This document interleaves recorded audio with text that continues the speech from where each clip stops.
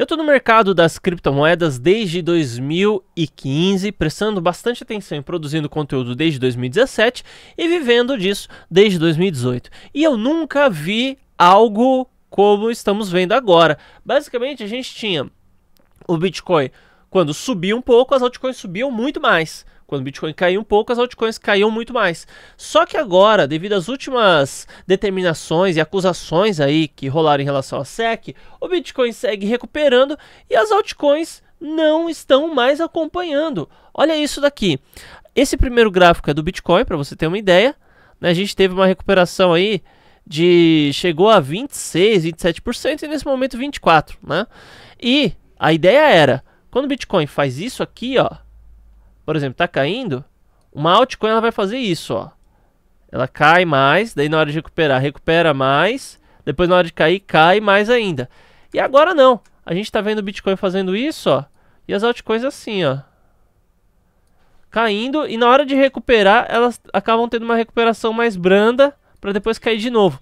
E isso tem acontecido justamente por conta da, das novas determinações da SEC. Consideraram ADA Cardano Solana também, é, Poly, Polygomatic, Binance Coin, cadê a Binance Coin? É, ah, não coloquei, ah, aqui ó, é esse gráfico aqui e Binance Coin. Você tá vendo que praticamente você pega a Binance Coin não tem nem a recuperação, cara, nem a recuperação.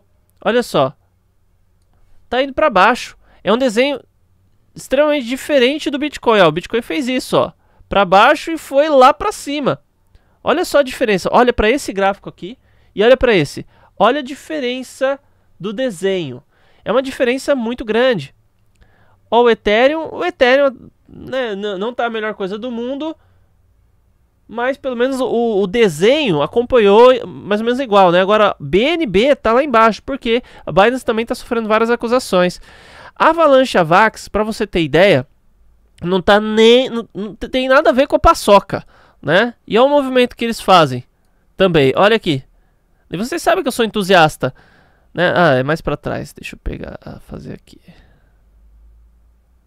Ó, é daqui em diante. Ó, Avalanche Avax, ó. Até teve a queda, segurou bem na queda e subiu um pouquinho mais do que a média, né? Mas ainda assim está em queda, ainda assim não teve nenhuma, nenhuma correção, nenhuma é, subida expressiva e a situação tende a piorar. Tá? Isso porque a SEC não vai deixar nada barato. A SEC ela quer sim derrubar o mercado das criptomoedas. Porém, é, quem sobreviver diante disso tudo é a galera que vai ganhar dinheiro. Por que, que eu digo isso? Porque se está tendo processo para definir qual moeda é uma, um valor mobiliário, após esse processo acontecer, basicamente vão considerar: ah, não, Ada Cardano virou valor mobiliário agora. Beleza. Então o que, que precisa para você operar? Já que já é valor mobiliário, já você já sabe todos os parâmetros necessários que uma empresa precisa ter para operar Ada Cardano. Ponto. Acabou.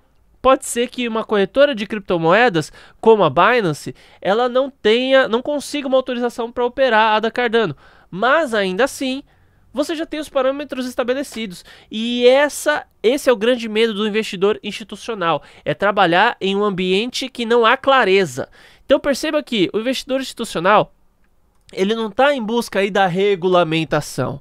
Ele muitas vezes até prefere que haja um ambiente regulamentado pelo fato de que, se ele contrata funcionário, terceirizado, se ele contrata sistema, se ele investe treinamento, e basicamente o Estado chega com um conjunto de regras que inviabi inviabiliza o, todo esse trabalho que ele teve, todo o tempo que ele perdeu, todo o tempo que ele investiu, é, é algo preocupante, algo que pode levar até a empresa à falência. Agora, se o ambiente está claro, ah, é difícil trabalhar, mas é difícil, mas ainda assim tem todo o mapa, todo o roteiro do que deve ser feito, então, via de regra, a tendência é que as coisas melhorem, tá? Então, esse processo aqui, ele pode durar muito tempo. A coisa pode se prolongar assim de forma inimaginável, talvez como nunca visto antes em um processo relacionado com a Comissão de Valores Imobiliários norte-americana. E isso ainda vai poder respingar até aqui no Brasil. Embora no Brasil eu acredito que eles tenham uma postura um pouco mais branda, um pouco mais no sentido, ah, vamos cobrar imposto e tá tudo certo.